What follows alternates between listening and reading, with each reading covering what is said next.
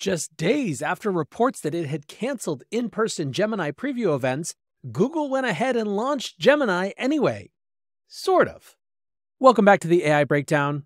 Wouldn't you know it, we had completed our entire episode today a brief, a main, all of that good stuff when it dropped that Google had released Gemini. Now, this was surprising and not surprising at the same time. Not surprising in the sense that they have been under incredible pressure to do so.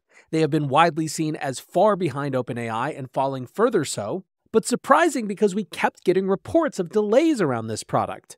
Most recently, at the end of last week, the information and others were reporting that Google had actually canceled a set of in person preview events for Gemini that were unannounced but meant to take place this week. Now, that reporting was updated to say that maybe there would be a virtual preview, but still it was quite a surprise to see them drop the actual factual full on announcement earlier today. So for a TLDR, let's look at AI entrepreneur Bindu Reddy, who writes, Yay, Google is finally in the arena. They just announced Gemini, and it has some impressive benchmark scores. Gemini beats GPT-4 in several benchmarks except HellaSwag. The 4-point MMLU beat is significant. All in all, this is a GPT-4 class model. Finally, we have a model that can dethrone the king. And indeed, a lot of the early tweets and comments were exactly some version of that. Santiago writes Google Gemini versus OpenAI GPT 4. It's a bloodbath. Is this an end of an era? And what he was referring to was this big list of benchmarks, where on basically all of them, Gemini Ultra beat GPT 4. That includes a number of reasoning benchmarks, it includes math, code, image, video, audio, but as we'll see, the story may not be quite as clear as it seems. Still, let's start with the information from Google about what Gemini actually is and get a sense of how they are positioning it relative to GPT 4. I will say right up front that the two words or phrases that you need to keep in mind are one, multimodal, and two, reasoning. The blog post they dropped this morning was called Introducing Gemini, our largest and most capable AI model. Alphabet CEO Sundar Pichai kicks it off and says, Every technology shift is an opportunity to advance scientific discovery, accelerate human progress, and improve lives. I believe the transition we are seeing right now with AI will be the most profound in our lifetimes, far bigger than the shift to mobile or to the web before it. AI has the potential to create opportunities from the everyday to the extraordinary for people everywhere. It will bring new waves of innovation and economic progress and drive knowledge, learning, creativity, and productivity on a scale we haven't seen before. So, big bombastic language really setting this up as the next big thing. From there, we get to the Gemini specific introduction from Demis Hassabis, who is, of course, the CEO and co founder of Google DeepMind. A couple of the key lines. He writes It was built from the ground up to be multimodal, which means it can generalize and seamlessly understand, operate across, and combine different types of information, including text, code, audio, image, and video. Indeed, a little later on, he describes how their approach to multimodality is different. Until now, he writes, the standard approach to creating multimodal models involved training separate components for different modalities and then stitching them together to roughly mimic some of this functionality. These models can sometimes be good at performing certain tasks, like describing images, but struggle with more conceptual and complex reasoning. We designed Gemini to be natively multimodal, pre trained from the start on different modalities. Then we fine tuned it with additional multimodal data to further refine its effectiveness. This helps Gemini seamlessly understand and reason about all kinds of inputs from the ground up far better than existing multimodal models, and its capabilities are state of the art in nearly every domain. Now, one other interesting note about Gemini 1.0 that will become relevant in just a moment there are actually three different sizes of the model Gemini Nano, which is their most efficient model for on device tasks, Gemini Pro, which they describe as our best model for scaling across a wide range of tasks, Gemini Ultra, our largest and most capable model for highly complex tasks. Keep in mind that Gemini Pro is a GPT 3.5 type of model, and it is Gemini Ultra specifically that is outperforming GPT-4 on many of these benchmarks. But let's get into the features and capabilities that they chose to highlight in this announcement post. In the main launch video, it is all about multimodality. Through and through and through, multimodal from the ground up, natively multimodal, that is clearly what they are trying to differentiate around. Now, when they get into their capabilities, the other thing that they start to focus on is this idea of sophisticated reasoning. They write, Gemini 1.0's sophisticated multimodal reasoning capabilities can help make sense of complex written and visual information. This makes it uniquely skilled at uncovering knowledge that can be difficult to discern in vast amounts of data. Its remarkable ability to extract insights from hundreds of thousands of documents through reading, filtering, and understanding information will help deliver new breakthroughs at digital speeds in many fields from science to finance. They highlight this in a video where Google Gemini was used to update a database of papers that refer to a specific type of information, pointing out that over a lunch period, it could analyze 200,000 papers, figure out which were actually relevant for the particular database, and then extract the key information from those relevant papers. Now, to make sure we get our dash of multimodal here, it was also able to take that information and extend charts and figures that were in the original paper based on the new information that it had added. In other words, we've got a little bit of reasoning with a dash of multimodality. Next up, Google discusses how Gemini understands text, images, audio, and more. Again, this is that ground up native multimodality that they've been talking about throughout. The example they use is someone who's helping their kid with physics homework. With simply a screenshot of the homework, Gemini is able to identify what went wrong in a problem that the student got wrong, and then be queried to help explain why a certain piece of information, in this case the height of a line, was incorrect, and it can do this in a way that actually explains its reasoning. As Google writes, it better understands nuanced information and can answer questions relating to complicated topics. This makes it especially good at explaining reasoning in complex subjects like math and physics. Next up, they talk about one of their most high profile features, which is advanced coding. They write Our first version of Gemini can understand, explain, and generate high quality code in the world's most popular programming languages like Python, Java, C, and Go. Its ability to work across languages and reason about complex information makes it one of the leading foundation models for coding in the world. Now, as part of this section, they also have a video about how Gemini is not only good at coding, but that it gets better when assisted by humans, but also the introduction of AlphaCode 2, which is for competitive coding.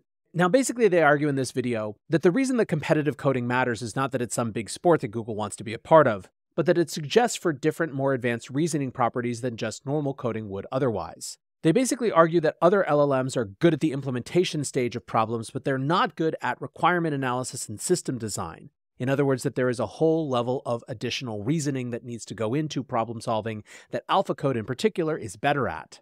Now, they kind of give an afterthought to the new updated tensor processing units, announcing the quote, most powerful, efficient, and stable TPU system to date, Cloud TPU v5p, designed for training cutting edge AI models.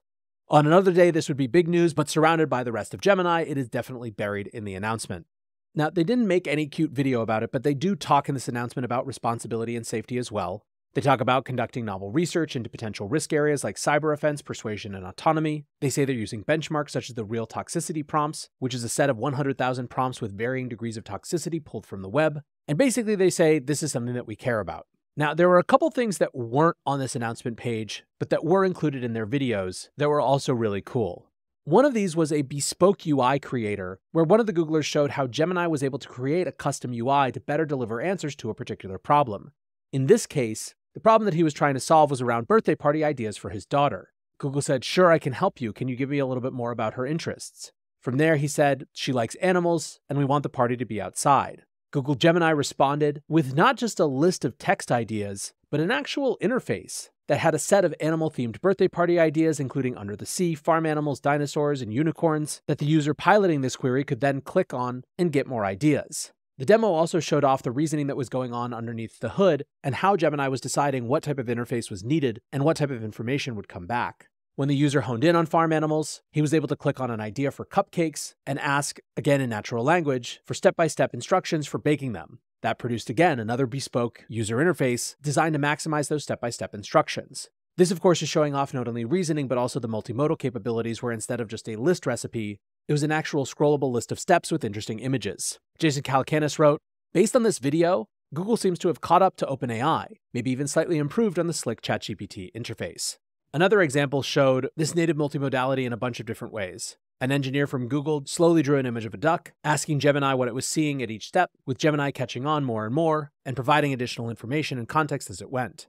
There are a lot of different things in this experiment, but basically they were all about this sort of natively multimodal interface, which was impressive to people. Amjad Masad, the CEO of Replit, said, This fundamentally changes how humans work with computers.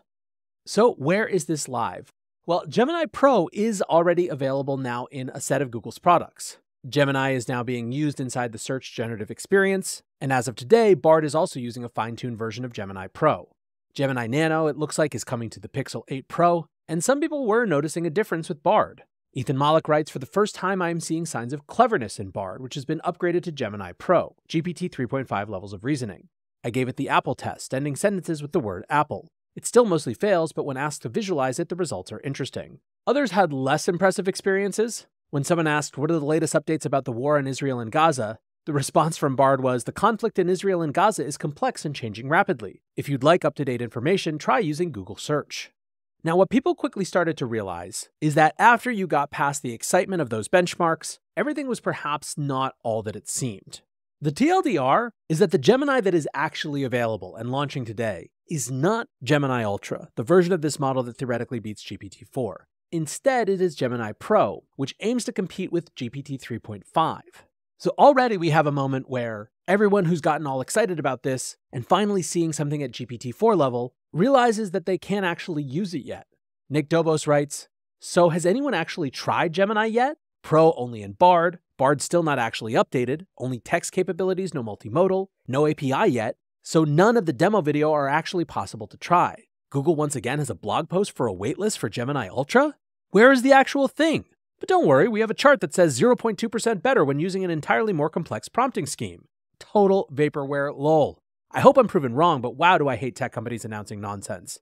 Google in particular has a huge habit of announcing and never following through. So, lots to follow up on on this point, but let's go to that assessment. But don't worry, we have a chart that says 0.2% better when using an entirely more complex prompting scheme. What he's referring to is the fact that a big part of the announcement, perhaps the biggest emphasized benchmark from the entire thing, was that Gemini Ultra outperformed a human expert on the MMLU and also beat the state of the art from GPT 4 with a 90% versus GPT 4's 86.4%. The human expert was that 0.2% behind Gemini Ultra at 89.8%.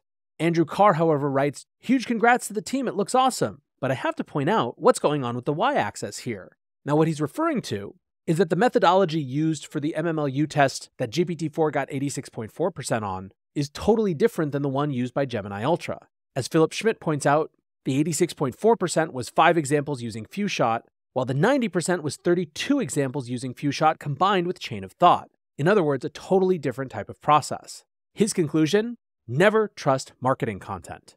The AI Safety Memes account says, hold up, Gemini only hits 90% on MMLU with 32 examples and chain of thought? GPT 4 just used 5 examples, no chain of thought. This seems hella sketch, but I could definitely be misunderstanding something. Can someone steel man? Now, in the paper that was released alongside this, it actually showed that when Gemini Ultra used the same five shot methodology that GPT 4 had, it scored an 83.7, lower than that 86.4% from GPT 4. Now, that paper also did say that with Chain of Thought and 32 shot, Gemini Ultra did still outperform GPT 4, but that was also using an API version, so it's very questionable all in all.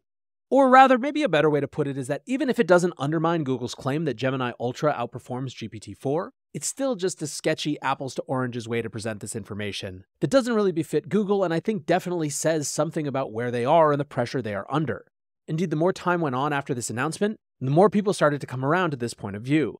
Haseeb Qureshi wrote, Google's much hyped Gemini model just dropped but looks underwhelming. SOTA model is Ultra, which is not yet released. Q1? Pro model, which is available, is GPT 3.5. They claim Gemini Ultra edges out GPT 4, but benchmarks look very cherry picked. Now, some are speculating that the reason that Gemini isn't out here crushing GPT 4 is maybe not just a fault of Google, but is some fundamental barrier being hit. Gary Marcus writes Hot take on Google Gemini and GPT 4. Google Gemini seems to have, by many measures, matched or slightly exceeded GPT 4, but not to have blown it away. From a commercial standpoint, GPT 4 is no longer unique. That's a huge problem for OpenAI, especially post drama, when many customers are now seeking a backup plan. From a technical standpoint, the key question is Are LLMs close to a plateau? Note that Gates and Altman have both been dropping hints, and GPT 5 isn't here after a year despite immense commercial desire. The fact that Google, with all its resources, did not blow away GPT 4 could be telling. For a lot of others, the big question now is when OpenAI makes its next announcement. Nate Chan writes, calling it OpenAI releasing GPT 4.5 before Christmas. Then there was the Jimmy Apples account. Now, this is an account that has claimed to have inside information about OpenAI before, which has been validated on several occasions. And while the post has now been deleted, in the immediate aftermath of Gemini being released, he posted something along the lines of, Okay, Sam, so now are you finally going to release what you've been sitting on, rather than just this slow drip? Implying heavily that OpenAI had something much more advanced than what is publicly available. Siqi Chen writes, How many weeks you reckon OpenAI will allow Gemini to be the best model in the world? Now, we haven't gotten any confirmation or comment from OpenAI members that I've seen, but we did have a now deleted tweet from Ilya Sutskever, who, of course, was the co founder and chief scientist at OpenAI, who was integral in the removal of Sam, but then also switched sides and wanted him to come back. After the Google Gemini announcement, he posted the wildly cryptic tweet I learned many lessons this past month. One such lesson is that the phrase, the beatings will continue until morale improves, applies more often than it has any right to. This set off an absolute frenzy of people trying to figure out what he was talking about. Was it something having to do with Google Gemini, or was the timing just a coincidence? In any case, it's been deleted now, so we will just have to guess. AI YouTuber Matt Wolfe sums up my feelings perfectly when he writes I no longer know how to describe these weeks we're having in the world of AI. Craziest week ever, most insane week we've seen yet, etc. I always think we're having a week that can't be outdone. This week has been another one that I don't know how to describe. And indeed, given that I had to scrap an entire podcast for this one, which don't worry, you guys will get at some point, I couldn't agree more. But here we are. Google Ultra isn't out, but Gemini is finally confirmed. We've got more information. We're seeing what they're presenting. The next question, of course, will be whether it can actually perform in the real world. You better believe developers are going to be waiting hungrily for the opportunity to test it. But for now, that will wrap this breaking coverage of Gemini's announcement. Until next time, peace.